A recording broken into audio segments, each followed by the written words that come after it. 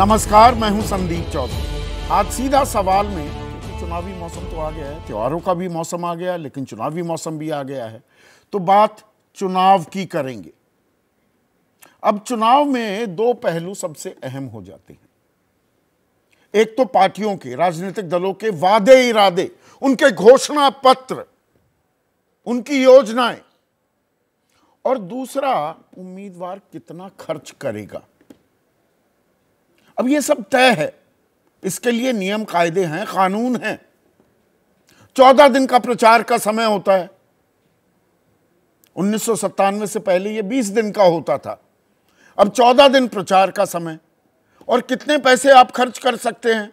ये भी तय है, चालीस लाख रुपए आप विधानसभा चुनाव में उससे ऊपर खर्च नहीं कर सकते। पचानवे लाख अब लोकसभा में कर सकते हैं, पहले इससे कम की राशि थी। लेकिन क्या ऐसा हो रहा है? क्या एक लेवल प्लेइंग फ़ील्ड है? या सरकारें, शब्द पर गौर कीजिएगा, केंद्र सरकार और राज्य सरकारें, सरकारी तंत्र का, सरकारी खर्च का और सरकारी प्रचार का इस्तेमाल करती हैं चुनावी नफे नुकसान के लिए, चुनाव में फ़ायदा उठाने के लिए, सीधे शब्दों में कहूँ। और ये मैं क्यों कह रहा हूँ? क्योंकि पाँच राज्यों में विधानसभा के चुनाव हैं। पर असरात 2024 के लोकसभा चुनाव पर भी होने वाला होने वाले हैं तो उस पर भी निगाहें हैं। तो सरकारी प्रचार का ज़बरदस्त इस्तेमाल किया जा रहा है। आचार संहिता लागू होने के बाद, जैसे ही चुनाव की तारीखों का ऐलान करता है चुनाव आयोग, उसके बाद आचार संहिता लग जाती है। तो नई योजनाओं की घोषणा नहीं हो सकती। घोषणा पत्र जारी कर सकते हैं, लेकिन कुछ शिलान्यास नहीं हो सकते और कुछ नहीं हो सकता उस राज्य में। लेकिन क्या ऐसा है? और उससे पहले की तैयारी क्या हम बड़ी कन्वीनियंटली नजरअंदाज कर देते हैं। कुछ आंकड़े आपके सामने मैं पेश करता हूँ। पाँच राज्यों में से चार राज्यों का ज़िक्र करता हूँ। राजस्थान, मध्य प्रदेश, छत्तीसगढ़ और तेलंगाना।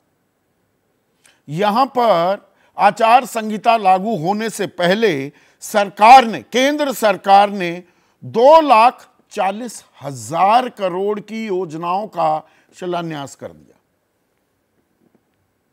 दो लाख चालीस हज़ार करोड़। राजस्थान में चौसठ हज़ार करोड़, मध्य प्रदेश में चौरानवे हज़ार करोड़, तेलंगाना में उनतालीस हज़ार करोड़ और छत्तीसगढ़ में चालीस हज़ार करोड़।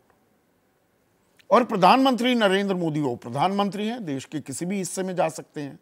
लेकिन गौर करने वाली बात यह है कि पिछले साढ़े तीन महीने में राजस्थान में वो छह दफ़ा जा चुके हैं।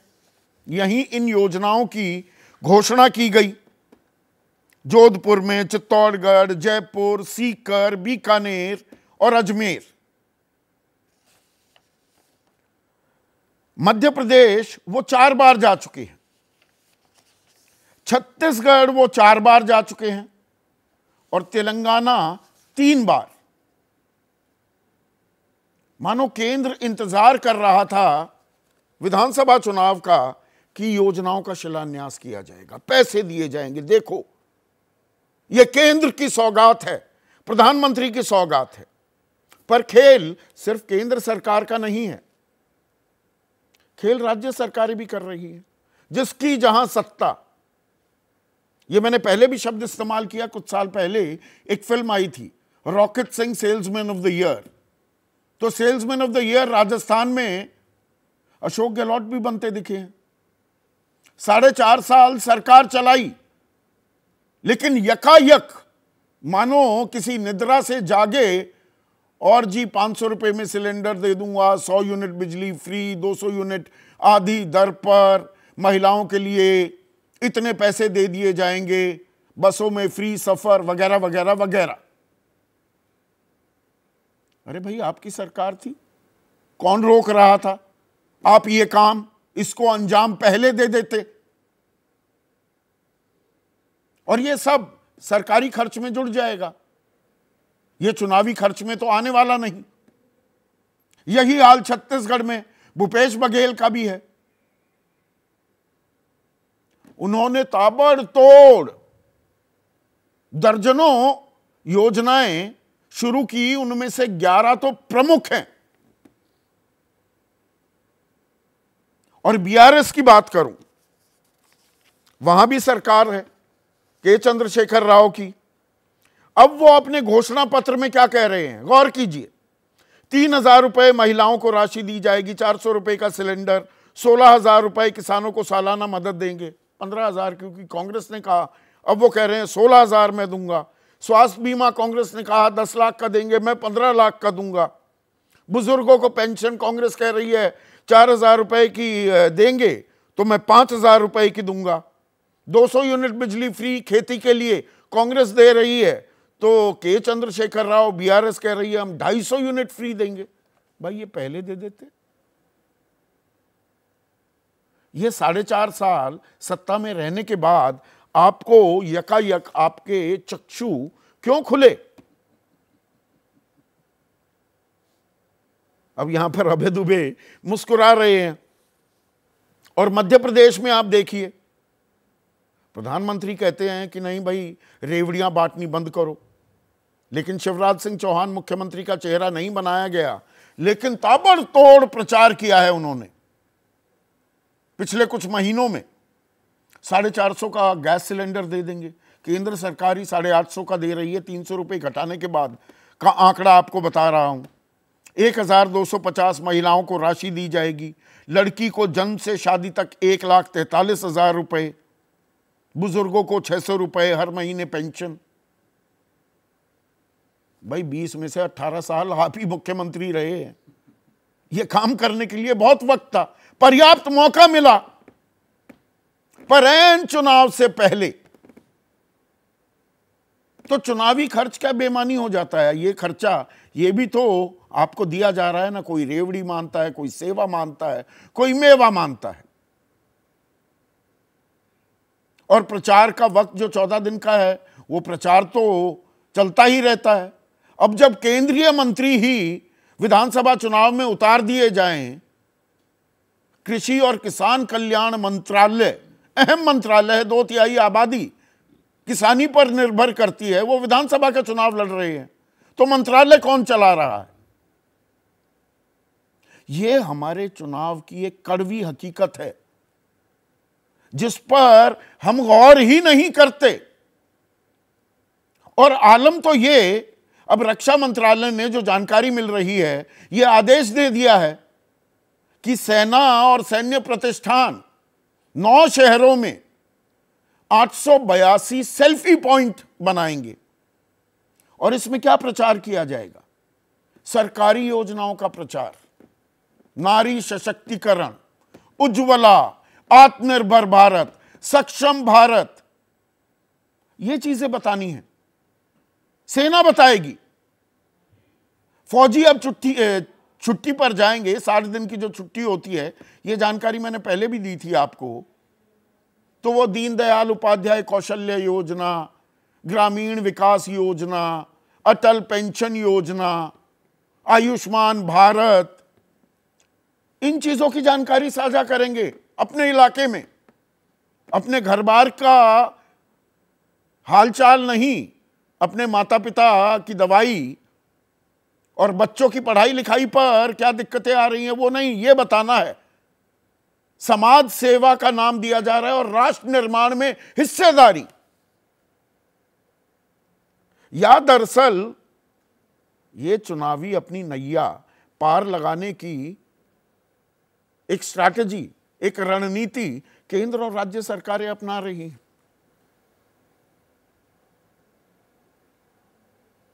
ऐसे में आज का सीधा सवाल। बिना लार लपेट के मैं ये सवाल पूछ रहा हूँ। सरकारी प्रचार किसकी लगाएगा नैया पार? और पेंशन कब तक देगी टेंशन? और दूसरा सवाल मैंने क्यों रखा है? सवाल के बाद मैं ये जानकारी ज़रूरी समझा कि आपको बताऊँ। पुरानी पेंशन योजना विपक्ष ने और खास कांग्रेस ने इसे एक बड़ा राजनीतिक औज़ार हथियार बना लिया है। हिमाचल में इसके डिविडेंड्स मिले। अब तमाम उनकी जो सरकारें हैं, राजस्थान, छत्तीसगढ़, झारखंड में भी मिलीजुली सरकार है, वो हिस्सेदार हैं सरकार में। ये पुरानी पेंशन योजना लागू कर रही है। हिमाचल में तो लागू हो रही है। अब केंद्र सरकार जो ये कह रही थी कि पुरानी पेंशन पीएफआरडीए के जो पैसे थे, पैंतीस हज़ार करोड़ राजस्थान के सरकारी कर्मचारियों के फंसे हुए हैं। सत्रह हज़ार करोड़ के करीब छत्तीसगढ़ के हैं। इसी तरह से आठ आठ नौ नौ हज़ार करोड़ पंजाब और हिमाचल प्रदेश के हैं। कि ये तो हम दे नहीं सकते। पर टीवी सोमनाथन की अध्यक्षता में जो देश के वित्त सचिव हैं, एक कमेटी भी बनाई गई है रिविजिट करने के लिए नई पेंशन योजना को। अब जानकारी ये आ रही है, दिसंबर तक हो सकता है सरकार कहे कि जैसे पुरानी पेंशन योजना में उसका सबसे बड़ा यूएसपी क्या है? कि जो सरकारी कर्मचारी की आखिरी तनख्वाह होती थी, उसकी आधी रकम पेंशन के तौर पे मिलेगी। अब सरकार ये सुनिश्चित करने की कोशिश कर रही है, ये जानकारी हमें मिल रही है, पुख्ता सूत्रों के हवाले से, कि 40 से 45 फ़ीसदी आखिरी तनख्वाह का अब नई पेंशन स्कीम में भी मिलेगा। जहाँ तिरासी हज़ार का मैंने उदाहरण आपको दे रखे हैं, एक शिक्षक, एक प्रिंसिपल रिटायर हुए, इक्कीस सौ रुपए की पेंशन मिल रही है। कोई अठहत्तर हज़ार रुपए की आखिरी तनख्वाह ले रहा था, सोलह सौ रुपए या ग्यारह सौ रुपए, उसको पेंशन मिल रही है। तो अब 40 से 45 फ़ीसदी मिलेगी। चर्चा में मेरे साथ बीजेपी की तरफ़ से महेश वर्मा, कांग्रेस के राष्ट्रीय प्रवक्ता सुरेंद्र राजपूत राष्ट्रीय सचिव हैं, प्रवक्ता हैं जेडीयू के। राजीव रंजन। कृष्णा हेगडे प्रवक्ता हैं शिवसेना शिंदे गुट के। जाने माने राजनीतिक विश्लेषक अभय दुबे मेरे साथ हैं और एसोसिएशन फॉर डेमोक्रेटिक रिफॉर्म्स जो इस तरह के, जो ये कड़वे सवाल हैं, उन्हें सालों से उठाती आ रही है संस्था के संस्थापक। जगदीप छोकर भी इस चर्चा में जुड़ चुके हैं और राजनीतिक चर्चा तो मैं करता रहता हूँ। पर जगदीप छोकर साहब, ये कड़वी हकीकत इस पर कोई चर्चा करने को तैयार क्यों नहीं? कहने को प्रचार का वक्त भी तय है, रकम राशि कितना खर्च कर सकते हैं वो भी तय है, पर बड़े कन्वीनियंट तरीके अपना लिए गए हैं। पहले से ही तिजोरी भी खोल दी जाती है और सरकारी प्रचार का बेजा इस्तेमाल भी होता है। गलत कह रहा हूँ मैं। देखिए, आप तो सही कह रहे हैं, इसमें कोई मुझे तो शंका नहीं है। लेकिन जो आप ये कह रहे हैं कि चुनाव का समय भी तय है और ख़र्चा कितना हो सकता है, वो भी तय है। तय तो सब कुछ है। लेकिन मैं ये मानता हूँ, बड़े मैं दुख के साथ ये कहता हूँ कि हमारे देश में चुनाव के नाम पर एक ढोंग, एक ढकोसला और एक हरियाणा और वेस्टर्न यूपी में होता है स्वांग। एक स्वांग रचा जाता है जिसमें सबको मालूम है क्या हो रहा है। जो स्वांग में एक्टर हैं उनको भी पता है। जो स्वांग देख रहे हैं उनको भी पता है। और जो तालियाँ बजा रहे हैं उनको भी पता है। सबको पता है कि ये ड्रामा चल रहा है और ये ड्रामा चलेगा।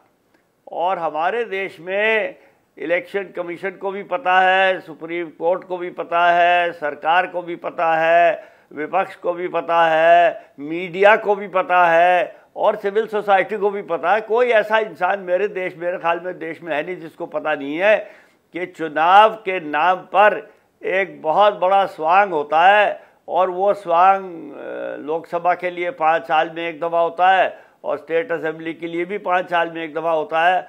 लेकिन कहते ये हैं कि रोज़ होता रहता है। तो ये खेल चल रहा है, सबको पता है ये एक नेशनल पास टाइम मैं समझता हूँ है। इसका नहीं पर इसमें कुछ गंभीर सवाल तो है ना। जगदीप छोकर साहब देखिए हम भी ग्राफिक प्लेट चला रहे हैं चुनावी राज्यों में। सुनिए ना सर चुनावी राज्यों में केंद्र की सौगात। ये ठीक चुनाव से पहले केंद्र सौगात देने लगता है। राज्य सरकारों की सौगात भी वो भी खजाने खोलने लगते हैं। भाई चुनाव से पहले क्यों? पहले क्या कर रहे थे? ये सौगात है या मतदाता को लुभाने का एक तरीका है यह प्रलोभन नहीं दिया जा रहा क्या? नहीं मतदाता को भी पता है कि ये अभी की दो दिन की चांदनी फिर अंधेरी रात है। कुछ लोग ये भी कहते हैं कि जब जब चुनाव आता है गरीब के पेट में पुलाव जाता है। हम्म। तो मतदाता को भी पता है कि यही मौका है जो ले सकते हो, ले लो। इसके बाद तो कुछ आपको मिलेगा नहीं, ना कोई देखने को भी नहीं मिलेगा आदमी। तो इसीलिए मैं कह रहा हूँ कि ये सबको पता है, जग ज़ाहिर बात है, लेकिन ये देश को और दुनिया को दिखाने के लिए अच्छा है कि हमारे देश में लोकतंत्र है और हमारे देश में चुनाव होते हैं और बड़े ज़ोर शोर से चुनाव होते हैं और ये होता है, वो होता है, लेकिन अंदर से हमारे चुनाव बिल्कुल ख़त्म हो चुके हैं। हमारे देश में लोकतंत्र मेरे हिसाब से सिर्फ़ नाम के वास्ते रह गया है। देश में लोकतंत्र अब नहीं है। कुछ ज़्यादा तो ही जो आप सवाल उठा रहे हैं आप डिसोल्यूशन तो थोड़े नकारात्मक ज़्यादा नहीं हो रहे हैं जगदीप चौकर साहब। अगर जनता सब जानती है तो वो इनसे फिर प्रभावित भी नहीं हो रही होगी। आपको भी पता है नहीं नहीं, मैं आपको पता है, तेईस साल से ये काम कर रहा हूँ। और अगर मैं टोटली डिसल्यूजन हो गया होता तो मैं ये काम छोड़ देता। लेकिन मैंने छोड़ा नहीं है, इसलिए कोशिश करने में लगे हैं, लेकिन मुझे ये अब पूरा यकीन हो गया है कि ये देश का लोकतंत्र खत्म हो चुका है हम इसको मरे सांप को मारते रहेंगे, पीटते रहेंगे, हिलाते रहेंगे होने वाला नहीं है। एक चीज़ मुझे बताइए चुनाव आयोग पूरा लेखा जोखा रखता है जब तक कि भाई उम्मीदवार ने कितने पैसे खर्च किए। हाँ हाँ प्लीज़ बोलिए बोलिए प्लीज़ नहीं नहीं जब तक देश में जनता में मैं आंदोलन भी नहीं कहता इस बात को जनता में जब तक उत्तेजना पैदा नहीं होती तब तक ये ठीक नहीं हो सकता। और जनता में जब उत्तेजना पैदा होती है तो उसके बहुत गलत नतीजे भी निकलते हैं। लेकिन अब शांतिपूर्वक आंदोलन तो करना भी मुश्किल ही हो गया है और उससे कुछ होता भी नहीं है। तो मैं तो समझता हूँ, जब तक जन उत्तेजना नहीं होगी, तब तक ये ऐसे ही चलेगा। आप जितने प्रोग्राम करते रहिए और मैं जितने भाषण देता रहूँ और जितने लेख लिखता रहूँ, लेकिन असलियत ये है कि जो हम कर रहे हैं छोटे मोटे काम इनसे कुछ नहीं होने वाला। जब तक राजनीतिक दल में आंतरिक लोकतंत्र नहीं आएगा देश में लोकतंत्र नहीं आएगा। ठीक है आपने स्वांग शब्द इस्तेमाल किया और मैं उसका बिल्कुल देसी अंदाज में उसको सांग भी कहते हैं। ये सांग हो रहा है क्या? महेश वर्मा आप तो इस इलाके से वाकिफ हैं जहाँ की ये बोली है मतलब चुनाव सांग हो गया कि जी रैलियाँ करो, प्रचार करो, सरकारी खर्च करो, आ जाएगी आचार संहिता, तब बंद कर देंगे। उससे पहले ही सब सक्रिय हो जाते हैं, केंद्र सरकार हो या राज्य सरकारें हो।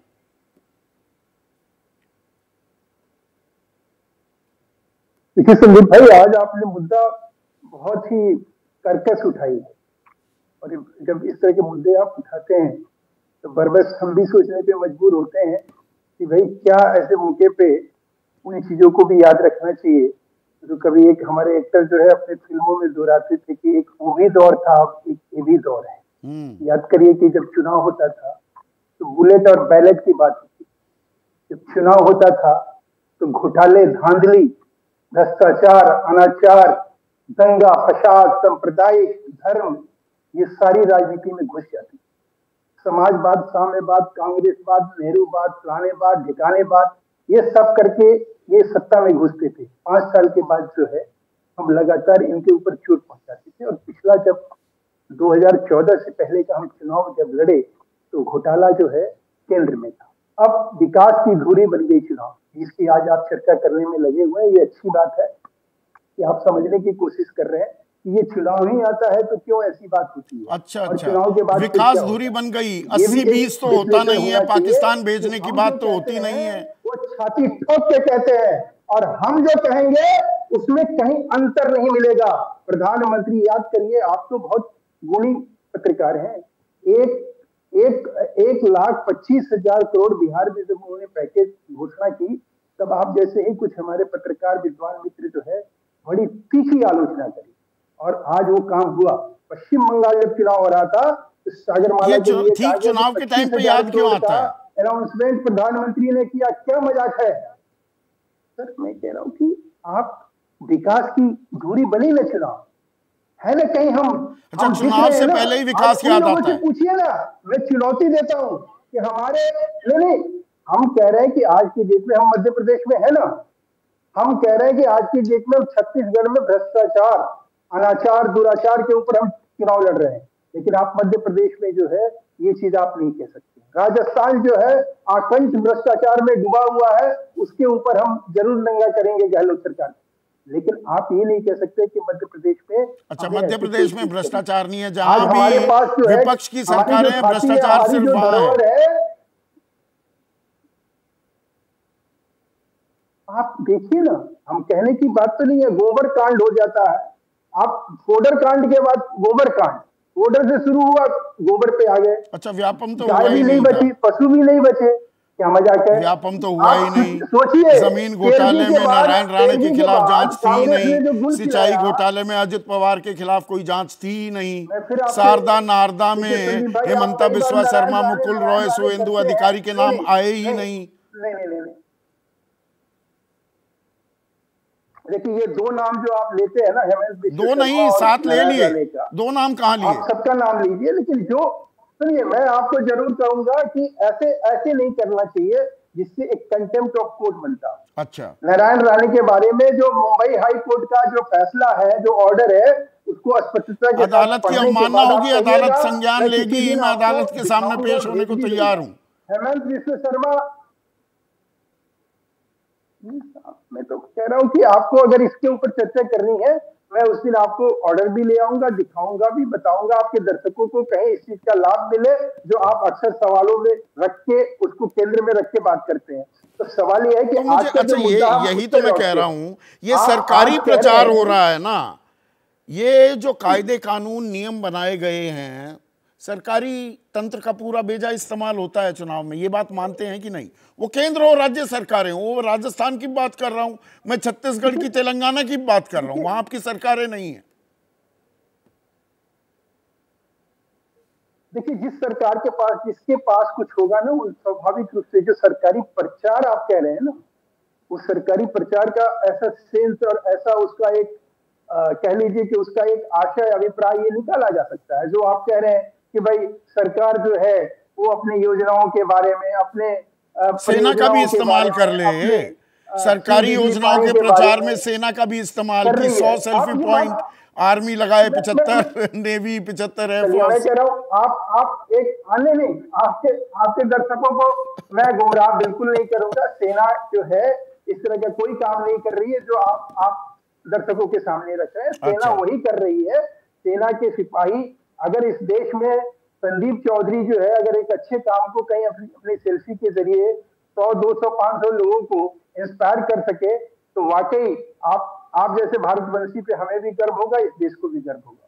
ठीक है। सवाल सुरेंद्र राजपूत बात केंद्र की नहीं है ये सरकारों का चरित्र होता है क्या? और ये भारतीय राजनीति और हमारी चुनावी प्रणाली का भी चरित्र हो गया है। कहने को कायदे कानून है और जगदीप छोकर तो इतने सालों से एक पारदर्शिता और लेवल प्लेइंग फ़ील्ड की एक मुहिम चला रखी है। वो तो कह रहे हैं, बिल्कुल ये सांग हो गया है, ये तो बिल्कुल खत्म होते, होता जा रहा है ये। लोकतंत्र के नाम पर तमाशा कर दिया है हमने। कर दिया है क्या? संदीप भाई, देखिए, दो तीन चार चीज़ें बड़ी महत्वपूर्ण हैं। ये बात सच है कि चुनावों को लेकर के कहीं ना कहीं कोई पारदर्शिता, कोई नियम कानून या कोई कायदे की चीज़ बिल्कुल कठोरता से मानी जानी चाहिए और जो कमियाँ हैं उसको दूर किया जाना चाहिए। लेकिन अगर कोई आदमी ये कहे कि, कि ये सांग है या ये सारी चीज़ें हैं तो मैं उससे सहमत नहीं हूँ। मैं बिल्कुल कतई सहमत नहीं हूँ। मैं किसी भी तरीके की हिंसा से सहमत नहीं हूँ। मैं किसी भी तरीके की जैसे भी छोकर साहब ने कहा कि साहब शांतिपूर्ण आंदोलन से कुछ नहीं होता। तो आप मुझे बताओ शांतिपूर्ण आंदोलन से अभी आपने और हमने दोनों ने किसान आंदोलन कवर किया है किसान आंदोलन में रहे। हुआ ना? आपके सामने लोग झुके। तो ऐसा नहीं है कि हमारे देश में शांतिपूर्ण ही आंदोलन से सब कुछ होता है और देश के संविधान से सब कुछ होता है। हाँ ये बात सच है कि जिस तरीके से 2014 के बाद सत्ता का एक दुराग्रही चेहरा सामने आया है वो अपने आप में बड़ा महत्वपूर्ण है। आप 2014 से पहले भी आप तो आ, कब से पत्रकारिता कर रहे हो? केंद्र के प्रधानमंत्री को आपने कभी किसी प्रधानमंत्री को कोई किसी दल का हो मतलब कांग्रेस का नहीं किसी दल का हो। आपने कभी देखा था एक रैली कर ली दो रैली कर ली। लेकिन जिस तरीके की बात ये लोग चुनाव से छह महीने पहले से शुरू कर देते हैं तो होता है ना कि होता है रोज तमाशा रहता है खेल जारी और उस पर कमाल ये है कि दिखता नहीं मदारी। मदारी अपना डमरू बजाने लग गया है 2014 के पर जादूगर भी हैं आपके खेमे में भी एक जादूगर हैं। Rocket Singh salesman of the year बन जाते हैं। साढ़े चार साल पूरा होने के बाद वो लगा देते हैं। सेल लग जाती है great Indian sale Bhupesh Baghel भी यही कर रहे हैं खेल। गलत कह रहा हूँ। मैं आपसे सहमत हूँ। और आप ले लो। अब क्या नाम ये वर्मा जी की तो हिम्मत नहीं है सब करने की। वो लोग तो ईरान तो ईरान की बातें करते रहेंगे कि ऐसा है, वैसा है, वो हो जाता है। हम तो कहते हैं मैं सहमत हूँ।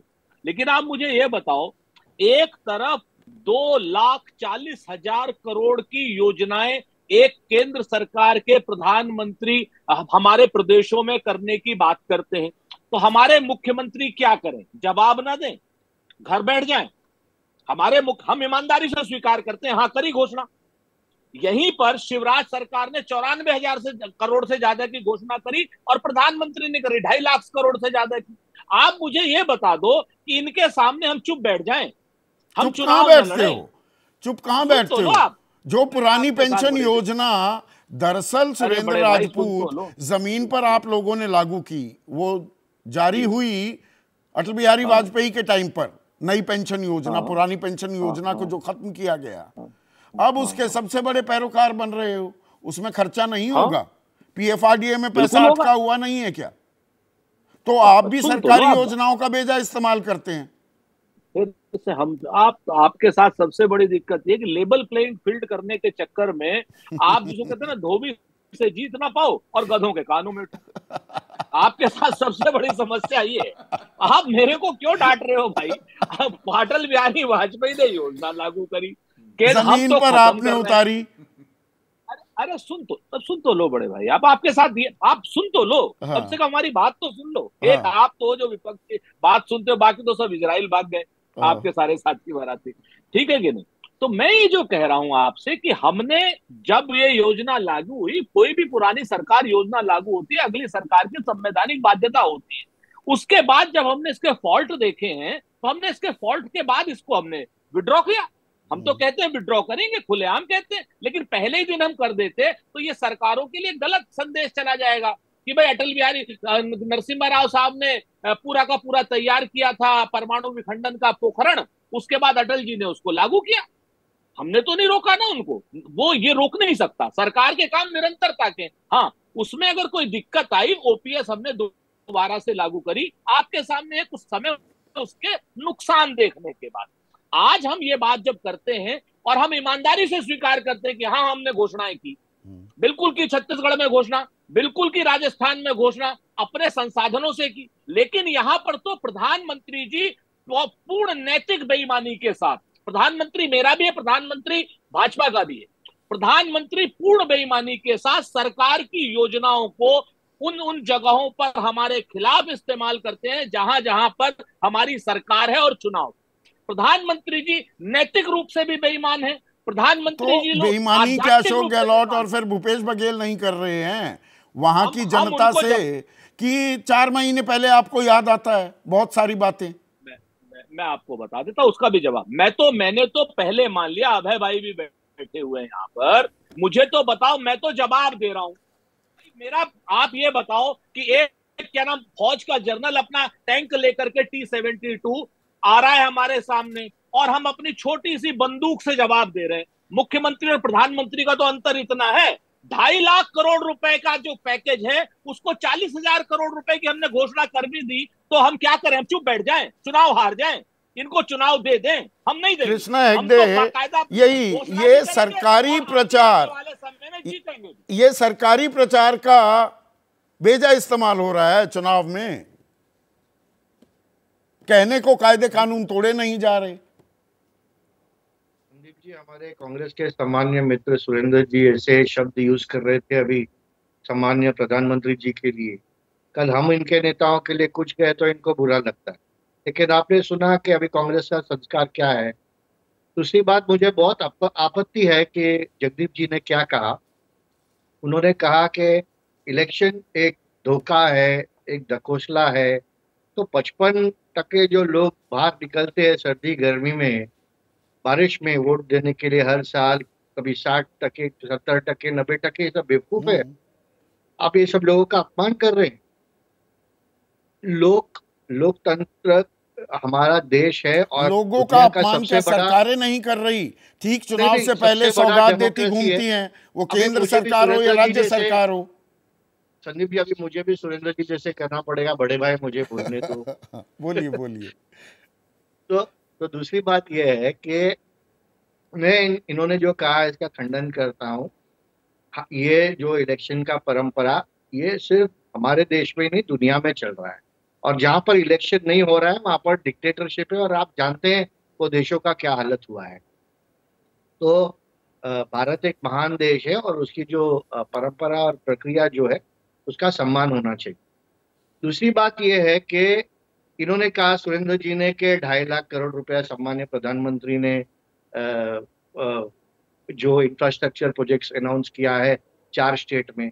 अरे, हमारा सम्मान्य प्रधानमंत्री तो पहले से कर रहे 2014 से कर रहे हैं, नौ साल से कर रहे हैं। इसके लिए फिर से लोगों ने उनको 2019 में चुन के दिया।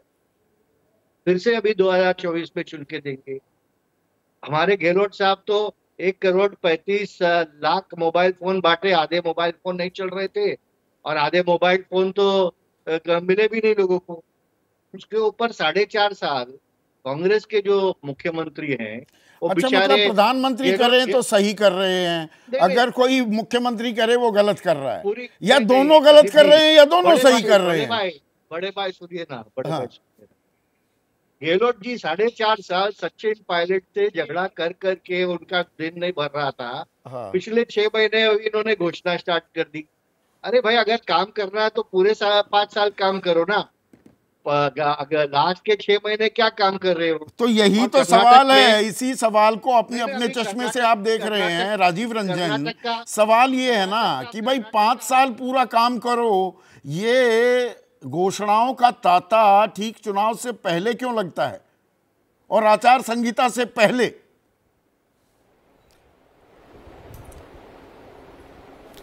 देखिए, घोषणाएँ तो होंगी। इसलिए कि इस सिस्टम में मैं ये मानता हूँ कि हर सरकार साल, पाँच साल के आखिर तक वो काम करती है और जनता को लाभ पहुँचाने के लिए उसे कार्य करना भी पड़ता है। लेकिन सवाल ये है कि जब आप वायदे करते हैं, आपको ये पता है कि आपके पास इतने संसाधन नहीं है।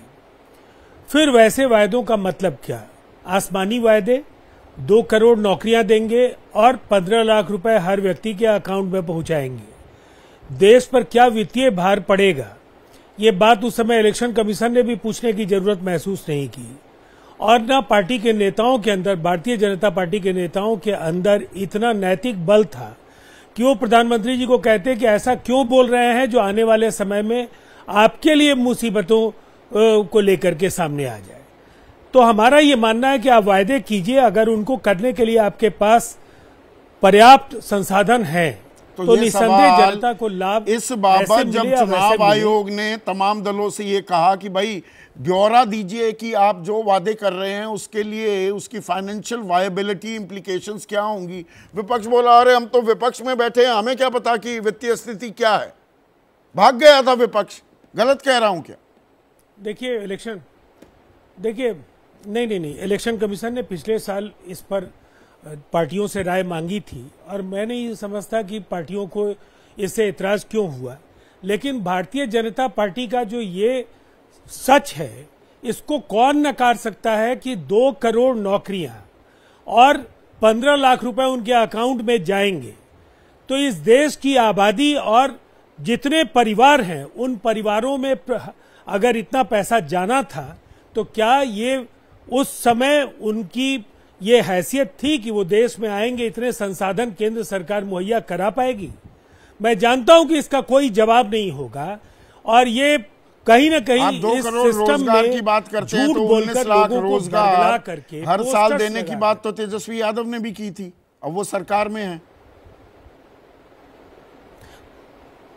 देखिए हमारे यहाँ 2025 चुनावी वर्ष होगा और हमने जो वायदा किया है, उसमें एक बड़ा जो फैसला है, वो आपने शिक्षकों की नियुक्ति को लेकर के देख लिया। और इसके साथ लगातार वहाँ रिक्तियाँ आ रही हैं। इतना बड़ा कोई नियुक्तियों का फैसला केंद्र सरकार की ओर से क्यों नहीं आया आज तक? उनकी ओर से व्यवस्थित प्रबंधन क्यों नहीं एम्प्लॉयमेंट को लेकर के हुआ? और मैं तो सीधा पूछता हूँ कि दो करोड़ नौकरियाँ, आज 18 करोड़ का यह बैकलॉग है 19 करोड़ का बैकलॉग है। ये इससे बड़ा झूठ क्या तो हो सकता है? इसीलिए देखिए समझ गया। इस सब सिस्टम में जनता- से देख रहे हैं क्या? मैं एक मिनट राजीव जी। अबे भाई सवाल यहाँ पर ये है कि जब खर्च की सीमा तय है प्रचार की मियाद तय है तो चुनाव आयोग इस बात का संज्ञान क्यों नहीं लेता कि भाई आचार संहिता लागू होने से पहले उसके दो तीन महीने पहले कितना खर्च किया गया कितने दौरे किए गए कितनी योजनाओं का शिलान्यास हुआ और ये तर्क संगत है ये सही है या नहीं है इस पर कोई अध्ययन किया या नहीं किया जाना चाहिए? चुनाव आयोग है ना जो देख रेख करता है चुनाव की। संदीप जी आपने भारतीय लोकतंत्र की दुखती रख पर यह मसला उठाकर उंगली रख दी है। मैं थोड़ा सा समय लूँगा। भारत सरकार की एक अलमारी है। उस अलमारी में एक बहुत मोटी फ़ाइल रखी हुई है। उस मोटी फ़ाइल के ऊपर लिखा हुआ है इलेक्शन रिफॉर्म उस मोटी फ़ाइल पे कई अंगुल मोटी धूल जमी हुई है। उस फ़ाइल को कभी नहीं खोला जाता और चुनाव सुधार कभी नहीं किए जाते। अगर वो चुनाव सुधार होंगे तब इस प्रकार के मसलों पर जिनकी आप चर्चा कर रहे हैं कुछ उसके ऊपर ध्यान दिया जाएगा। इसमें एक मसला ऐसा है चर्चा में छूट गया है। वो ये है कि, कि उम्मीदवार की खर्च सीमा तय है लेकिन पार्टियों की खर्च सीमा तय Yes. नहीं है।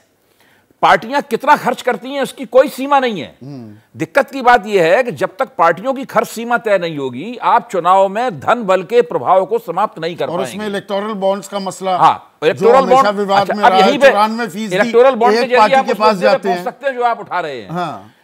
चूँकि भारतीय जनता पार्टी केंद्र में सत्तारूढ़ है और मजबूती से सत्तारूढ़ है इसलिए इलेक्टोरल बॉन्ड का 90 फ़ीसदी से ज़्यादा हिस्सा भारतीय जनता पार्टी के हिस्से में जाता है। बाकी देश में जितनी भी पार्टियाँ हैं बहुत सारी पार्टियाँ हैं देश में बड़ी भी छोटी भी उनके पास केवल 10-12 फ़ीस 10 फ़ीसदी ही हिस्सा पहुँचता है। ऐसा क्यों है? ऐसा इसलिए है कि चुनावी प्रक्रिया का पूरी तरीके से सरकारीकरण हो गया है। हम्म, मैं इसलिए सरकारी प्रचार हाँ, की बात सरकारीकरण होने के कारण क्या हुआ है कि जिसको आप लेवल प्लेइंग फ़ील्ड कह रहे थे वो किसी को उपलब्ध नहीं है। चाहे वो विपक्ष को- देखिए जो सत्तारूढ़ पार्टी है उसके पास असाधारण रूप से अधिकार हैं। वो हर वक्त वो केंद्र में हो और राज्य में। केंद्र में हो चाहे राज्य में हो भाजपा हो चाहे भाजपा विरोधी दल हो कोई भी हो। अगर वो सत्तारूढ़ हैं तो अपने खिलाफ जो खड़ी हुई पार्टी है वो हमेशा उसके मुकाबले अपने आप को घाटे में पाती है। ठीक है। सारे मास्टर स्ट्रोक मारने का अधिकार या तो प्रधानमंत्री के पास है या मुख्यमंत्री के पास। मुख्यमंत्री के पास है इसी चर्चा किसी भी पार्टी पे कोई मास्टर स्ट्रोक मारने का अधिकार ही नहीं है। बिल्कुल। सरकारीकरण हो गया है पूरी तरीके से। तो चुनावी मौसम है और सरकारी प्रचार भी जमकर हुआ और सब जानते भी हैं। ये प्रचार कभी रुकेगा? चुनाव सुधार होगा? या वोटर कह देगा ये मैं अब खेल समझ में आ गया ये मत किया करो देखिए वोटर के साथ समस्या ये है कि वोटर की आवाज़ तो हम लोग हैं या जनप्रतिनिधि हैं। जनप्रतिनिधियों ने तय कर लिया है कि वो इस देश में चुनाव सुधार होने नहीं देंगे। हमारी और आपकी इतनी औकात है नहीं कि हम उन्हें चुनाव सुधार के लिए मजबूर कर सकें। चुनाव सुधारों के लिए कुछ कुछ मांग जयप्रकाश नारायण के आंदोलन में संपूर्ण क्रांति आंदोलन हुआ था उसके अंदर चुनाव सुधारों की मांग शामिल थी प्रतिनिधि वापसी के सिद्धांत को लेकर और उसके इर्द गिर्द उसके बाद से दरअसल चुनाव सुधारों की कोई मांग सार्वजनिक जीवन में आज तक हुई नहीं है। जब तक कोई स्वतंत्र रूप से कोई बड़ा आंदोलन हो, देखिए जगदीप छोकड़ साहब की बातें जो है ना, उनके लफ्ज कड़े थे। सुरेंद्र राजपूत की भी बातें जो थी, उनके लफ्ज कड़े थे, लेकिन उनके मर्म को आप देखिए। उनका मर्म यह है कि जिसके पास जितनी बड़ी सत्ता है वो चुनाव की चुनाव का पलड़ा अपने पक्ष में उतनी ही ताकत से झुकाने झुकाने पे आमादा है। और ये सब करते और ये सब करते हैं। मुझे नहीं पता अगर इलेक्टोरल बॉन्ड कल फ़र्ज़ कीजिए कांग्रेस की सरकार भी आ गई वो उसे बंद थोड़ा मुझे, कर देगी। मुझे तो यकीन नहीं है कि कांग्रेस की सरकार आएगी तो वो इलेक्टोरल बॉन्ड का जो वितरण है उस वितरण में कोई समानता लाएगी। मुझे इस बात में यकीन नहीं है। ठीक है। सत्ता में होगा वो उसके पूरे सुख उठाना चाहता है। वो एक दिन की सत्ता, सारे मास्टर स्ट्रोक, उसी, मैं फिर से बात कहूँगा, सारे मास्टर स्ट्रोक अपने पास ही सुरक्षित रखता है उसका अधिकार। तो यही तो सत्ता का चरित्र है और राजनीतिक दल सब सत्ता के पीछे हैं। बात हो रही थी चुनाव और सरकारी प्रचार पर। जनता जनार्दन की राय क्या है आपके सामने? संतोष जैन है, वो कहते हैं चुनावी रेवड़ियाँ साफ़ साफ़ रिश्वत हैं, इस पर बैन लगना चाहिए। लगाएगा कौन? और दूसरे हमारे दर्शक हैं सुधीर सिन्हा, डॉक्टर सुधीर सिन्हा, वो कह रहे हैं, सुरक्षित भविष्य के लिए ओल्ड पेंशन स्कीम बहुत ज़रूरी है। तो मुद्दे भी तय हो रहे हैं और प्रचार तो खैर हो ही रहा है। आज इतना ही। नमस्कार।